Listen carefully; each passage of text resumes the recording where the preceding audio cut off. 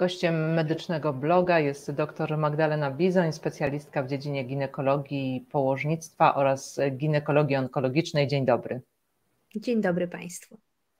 Y, nasza rozmowa jest zatytułowana Życie i seks po operacji ginekologicznej. Będziemy y, dzisiaj rozmawiać o bardzo poważnej operacji, która nie zawsze jest y, konieczna, ale jeśli już do niej dochodzi, to wiąże się z różnymi następstwami, tak można powiedzieć, dla nas kobiet. Ta operacja nazywa się histerektomia, to jest operacyjne usunięcie macicy i jest ta operacja na drugim miejscu po cesarskim cięciu. Wykonuje się 60 tysięcy zabiegów rocznie w Polsce. To jest poważna operacja, nieodwracalna operacja. Kiedy się powinno ją robić? Wskazania do tej operacji są onkologiczne i nieonkologiczne. Tutaj, e, jeśli chodzi o wskazania nieonkologiczne, czyli niezwiązane z chorobą nowotworową, to będą to wszelkiego rodzaju patologie w obrębie mięśnia macicy, czyli na przykład mięśniaki macicy, tak niekształcające, zmieniające mięsień macicy, że powiększa się i, i, i robi się taką nieprawidłową strukturą i wtedy jest to wskazanie do wycięcia takiej macicy. Z drugiej strony wskazania onkologiczne to oczywiście rak trzonu macicy, ale również macicę wycina się w przypadku radykalnych zabiegów, e, gdy e, mamy postawione rozpoznanie raka jajnika i raka szyjki macicy.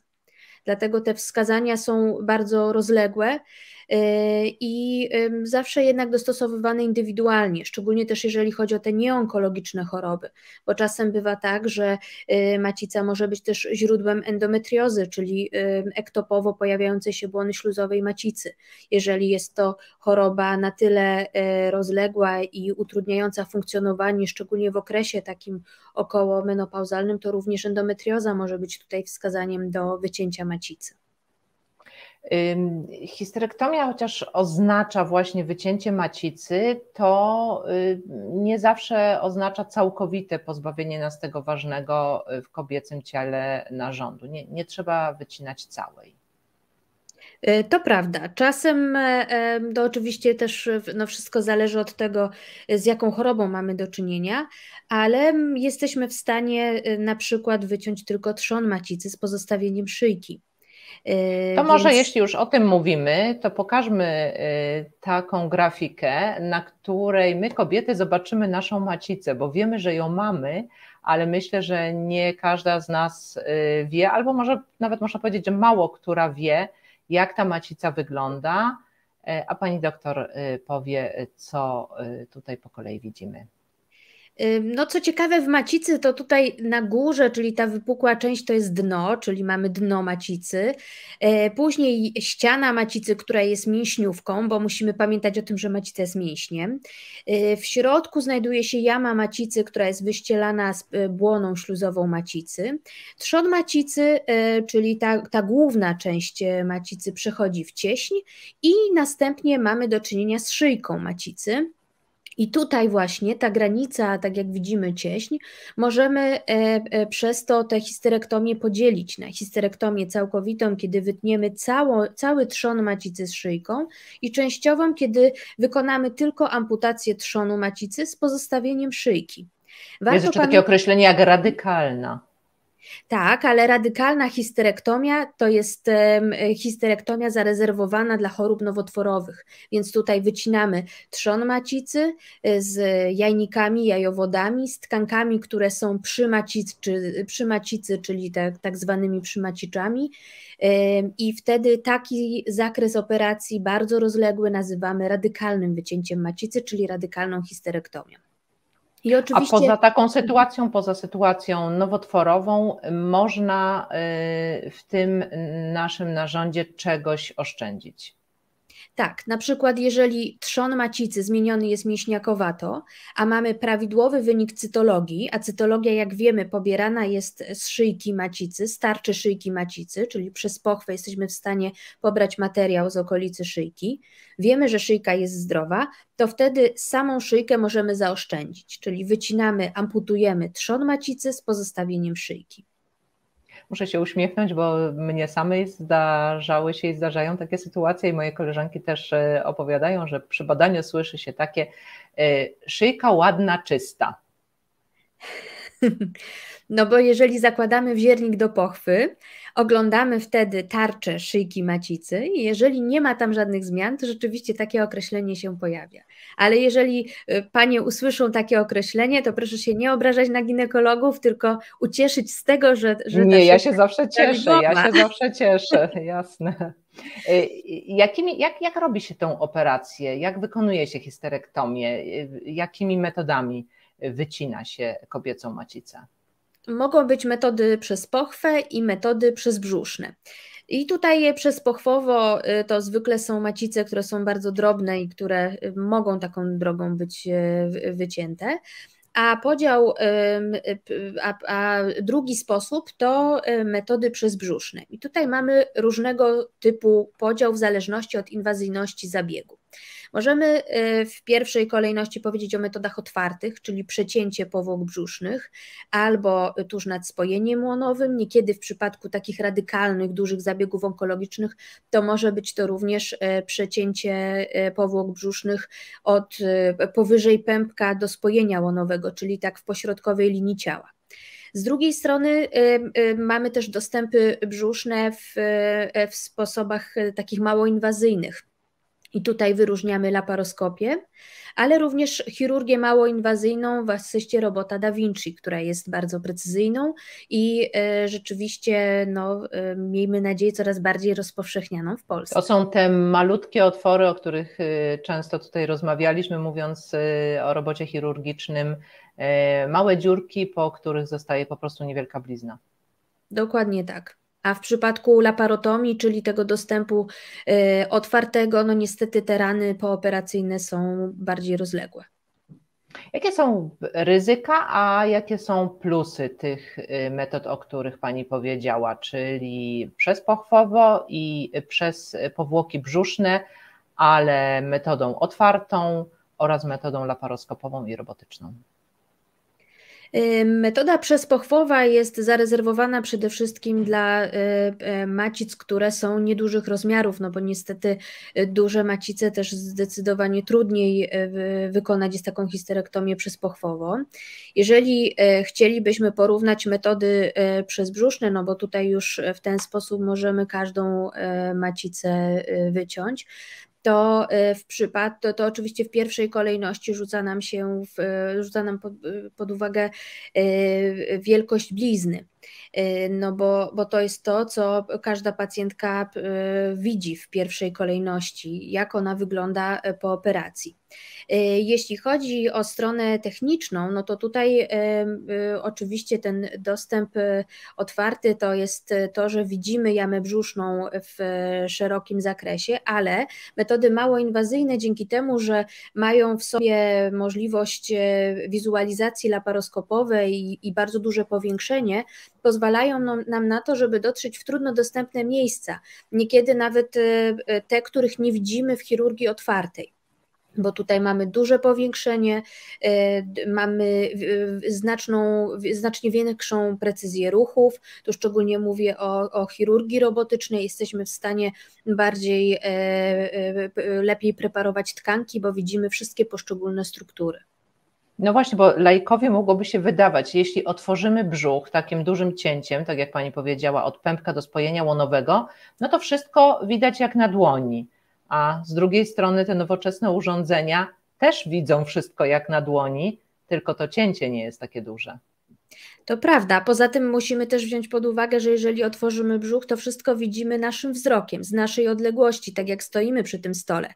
A w sytuacji, jeżeli mamy chirurgię małoinwazyjną, to e, dzięki optyce, która jest e, możliwa, która jest pod dużym powiększeniem, możemy ten obraz sobie coraz bardziej powiększać, czego nie jesteśmy w stanie zrobić przy chirurgii otwartej, bo dysponujemy tylko i wyłącznie naszym wzrokiem.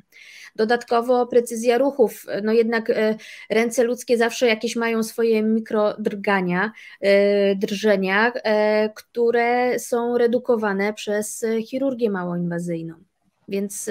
No, mamy, też, mamy też zdjęcia, na których możemy zobaczyć, jak wygląda kobiecy brzuch, bardzo dla nas ważny, choć oczywiście ratujemy życie, E, często, jeśli to jest operacja e, onkologiczna, natomiast e, później jeszcze żyjemy i chcemy dobrze wyglądać.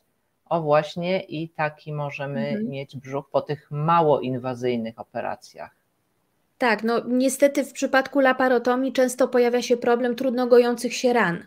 To, co widzimy, yy, więc jest to rozległa rana, która yy, szczególnie u pacjentek otyłych, u pacjentek z cukrzycą, które mają skłonności do... Laparotomia to? Laparotomia to yy, cięcie brzucha, czyli właśnie tak, takie Rozległe cięcie, mhm. tak. otwieranie go. Mhm. Tak. A laparoskopia, no to otwieranie brzucha właśnie przez, za pomocą tych y, małych dziurek, które goją się zdecydowanie szybciej i lepiej. Tak jak powiedziałam, y, często może się pojawiać y, taka opinia, mm, uratowane zostało Twoje życie, na przykład, bo miałaś raka, więc o co Ci chodzi, żyjesz, nie jest ważne jak wyglądasz, ale dla kobiet to jest ważne, dla ludzi to jest ważne, jak wyglądają. Jakie mogą, z, jak, z jakimi powikłaniami po wycięciu macicy, czyli histerektomii, trzeba się liczyć? Co się będzie działo? co się może zdarzyć. Y, jeżeli popatrzymy na y, strukturę miednicy, no to kobiety, to oczywiście widzimy, że najpierw jest pęcherz moczowy, zaraz za nim jest macica, a y, za macicą odbytnica.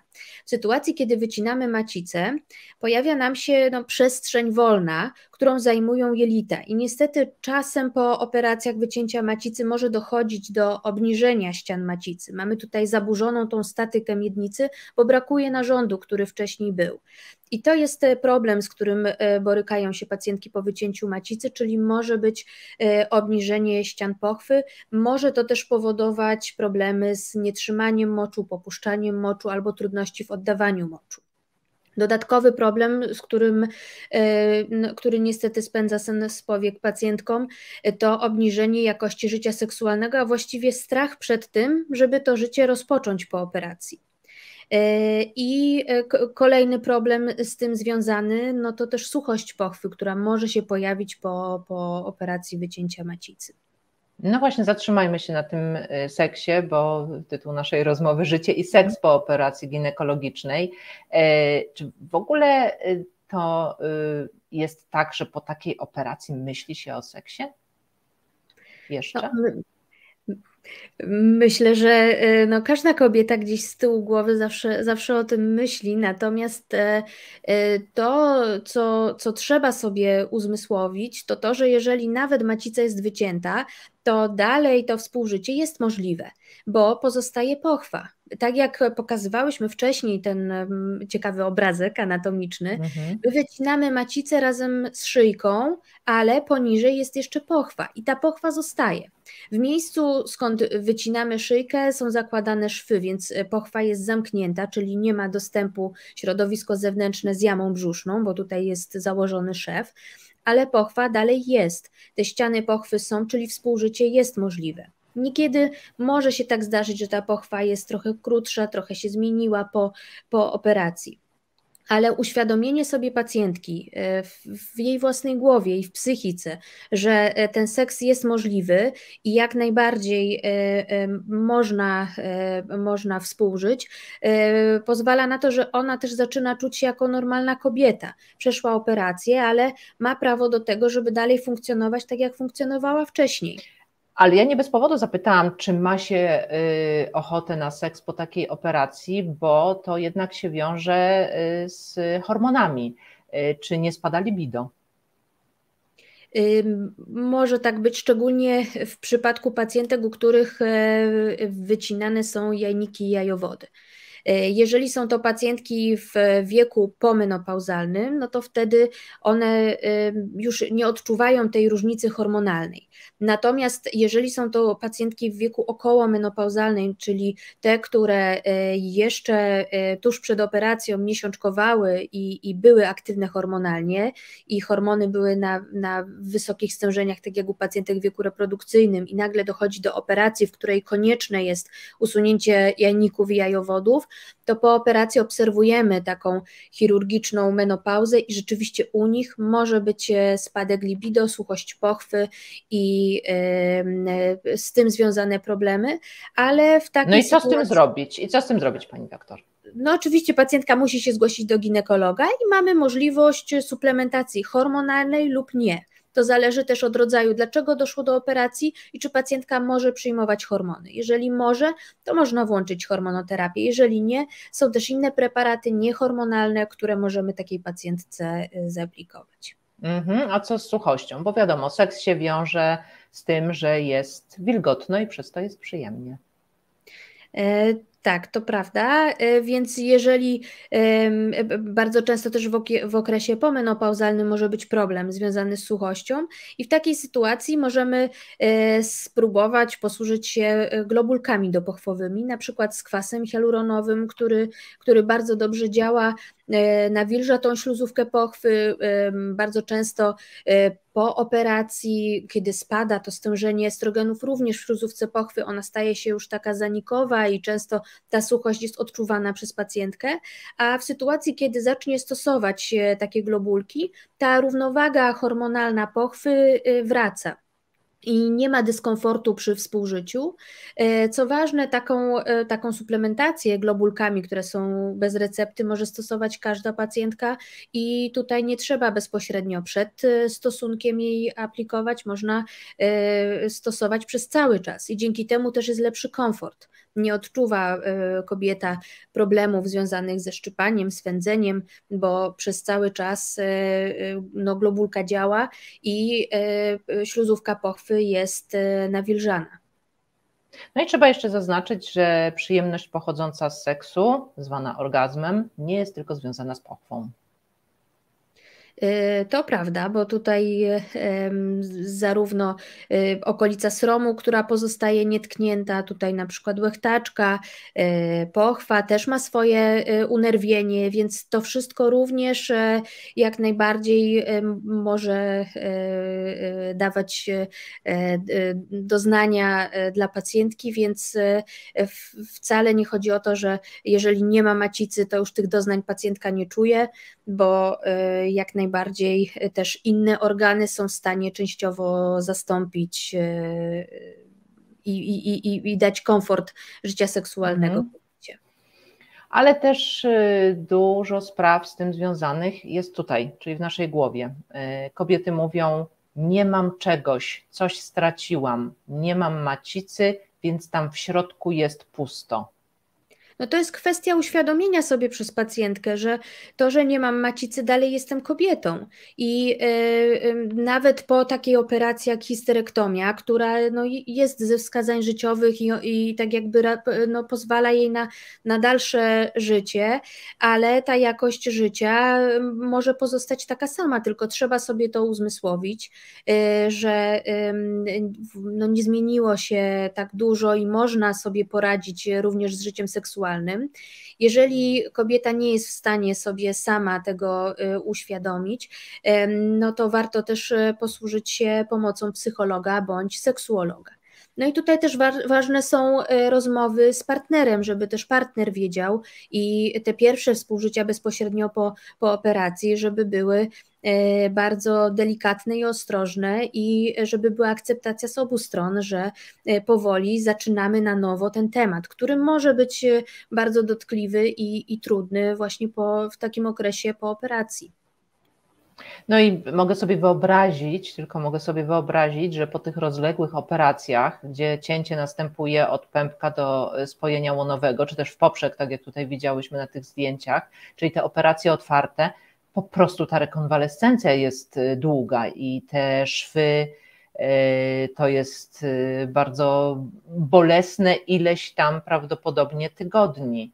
I to też na pewno powoduje, że nic nam się nie chce no jeżeli jest przecięty brzuch, naruszone tutaj włókna nerwowe, które są zlokalizowane w skórze, problemy z wstawaniem, no bo przecięty brzuch to, to jest ogromny ból związany tu z powłokami brzusznymi, więc to rzeczywiście e, sam, sam ten motyw już e, odechciewa się jakiegokolwiek życia seksualnego, a w przypadku chirurgii małoinwazyjnej, gdzie te nacięcia skóry są e, dyskretne, pacjentka tego nie odczuwa, dodatkowo myślę, myślę, że ten komfort psychiczny, że dalej wyglądam ładnie, bo mam nieduże blizny, to też wpływa e, dość no, pozytywnie. bo zawsze e, kobieta myśli o tym, że partner ją postrzega lepiej, bo ma nieduże blizny w porównaniu z e, sytuacją, kiedy no, jest konieczność dużych blizn na skórze brzucha. Chciałabym jeszcze, żebyśmy porozmawiały mm, o tym, że trzeba zwrócić uwagę i trzeba położyć nacisk na sytuacje i jakie to są sytuacje, kiedy tej macicy nie trzeba usuwać, żebyśmy też my, pacjentki, były w takich sytuacjach y, czujne i dociekliwe. No na pewno w sytuacji, kiedy jest pojedyncza zmiana typu mięśniaka, można się zastanowić wtedy nad wyłuszczeniem tej zmiany, tak żeby pozostawić dalej macicę, a tą zmianę wyłuszczyć. Oczywiście. To pewnie to... jak są małe.